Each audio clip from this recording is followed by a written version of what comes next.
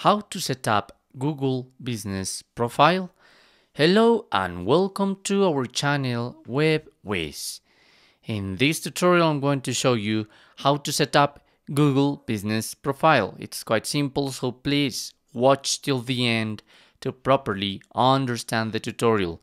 First of all you're gonna know, you're gonna need to know why do you need to set up your Google Business Profile. So remember, when it comes to your business, it's essential to let everyone know that you exist.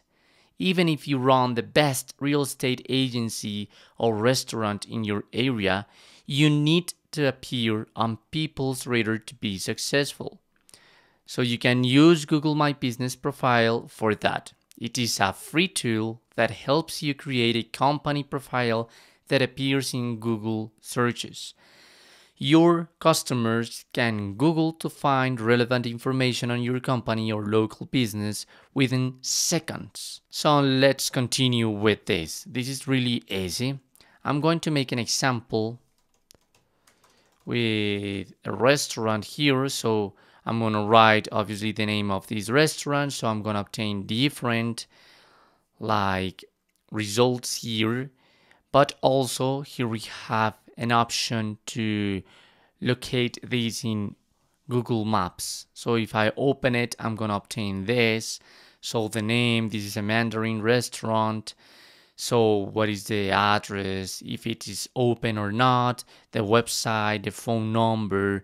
We could also select the directions to know how to get into this restaurant or to save these or to send to phone or to share it. I don't know. You can also check the reviews. It has a lot of reviews. Some talk about the price, the experience, some other the environment, the letter, and some users can upload some pictures of your business too if they consider it necessary. Obviously, you're gonna be able to upload your own pictures. By now, they have uh, 407 photos. That's a lot. And also the about. So there you can check the service options, the offerings, dining options, and so on. In this case, these are the options because this is a restaurant. But remember, this could be useful for other kind of business like real estate agency or to offer some of your services or different products about I don't know architecture or carpenter. I don't know. This is infinite. So what are you going to need to do is go to your web browser and write Google Business. So here I'm going to click on sign in. And here you can find and manage your business. Perhaps, I don't know, somebody has noted your business. So you're going to write it here. Let me try. No, I nobody has this, so I'm going to create a business with this name. Okay, so this is the name of my business, and but now this is the business category. So I'm going to write services or perhaps music. Music school. I'm gonna put it by now, and you are gonna click on next. Here is the next step. So do you want to add a location customers can visit like a store or office? So perhaps if you're trying to create a virtual school, so probably you're going to click on now. So because you don't have like a specific location. But if it's a restaurant or perhaps you sell another products in your store, so obviously you're gonna click on yes. By now, I'm going to click on yes because probably this is going to ask us to write the address and so on. So by now, I'm going to tap this and that's it. Once you have filled that, you can add an address line. This is optional. So perhaps this is the second floor or I don't know this is a small door. I don't know. There are some other options that you can fill in. Oh, the postal code. Let me check. Yes. The next question is if you want to provide deliveries or home and, office visits.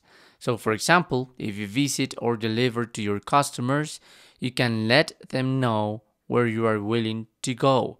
So, in the same case of a restaurant, if you're gonna be, I don't know, available to deliver some food like five miles away or eight miles away or just one mile away. I don't know.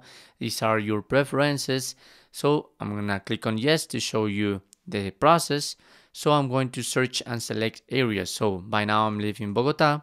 So I'm gonna click this and I don't know, perhaps some other close how to say it like villages. So like Chía in this case or perhaps these ones. I'm gonna you can fill this bar however do you want.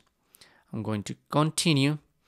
And what contact details do you want to show your customers? To your customers so help customers get in touch by including this info you're listing.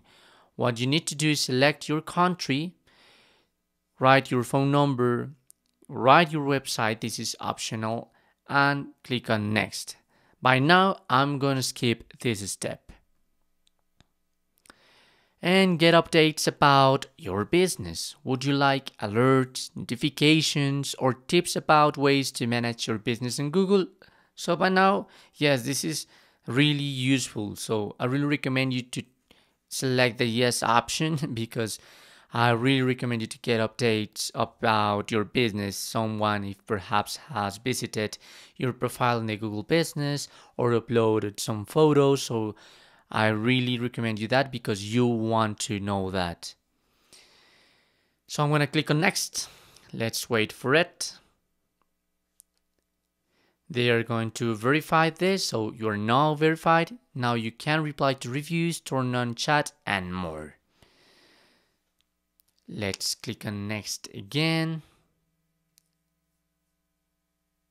And I think this is it. Perhaps this is a book. I don't know. oh, yeah. this continue. This is at business hours. So let customers know when you're open for business. So suppose uh, with my music school, I'm just to open Monday, Wednesday, and Friday. And you can select also if you open i don't know i'm gonna be open my school from 10 a.m and this is gonna be closed at 5 p.m you can also add some more hours so perhaps this is gonna be open from 10 a.m until not 5 1 p.m and you're gonna have a lunch you're gonna close your restaurant or music school in my case in my case. So I'm going to open again at 2 p.m. I'm going to close at 5 p.m. as I was trying to do. Okay. And also you can add more and more hours if you need it. And this is personal for each day. So you can select different schedule. For instance, in Wednesday, I would like to open at 11 and close at 4 and for Friday it could be the same. You can select your schedule, okay? Your business hours. And add messaging. Let customers message your business on Google for free. Obviously, you must accept these messages. In your business, you want to have touch with your clients and know everything about them. So, really accept it. And here you can add a business description, let customers learn more about you and so on. So this is optional too, but I really recommend you to add your business description. You want to sell, you want to have clients. And also here in the photos of your business, I really recommend you to add photos too. These are some examples, so perhaps this the front of your store so people is going to be able to recognize that when they are nearby and here the service that you're offering this is also useful by now i'm gonna skip but you need to do that by now this is gonna sell you also a free advertising so claim your 350 free advertising credit and you can claim your credit or not. I'm gonna skip it by now. And that's it. They're gonna offer you some other like host to your website if you need it .com, .net. You can explore more domains, but now I'm going to skip this. Your edits will be visible once you're verified. Okay, so I will have to wait to be verified. Here you can edit your business. By now, your business is not visible to customers, but you can, I mean, like edit the advertising, the bookings, the questions and answers, see some photos if you want. You can continue with this process even if you have done it uh, before or not. You can continue making and editing your business profile. And that's it. These are the basic stuff but this is really useful to let your people, your clients, find you on Google. This is really important if you want to grow your business. So, this is how to set up your Google business profile. Thanks for watching.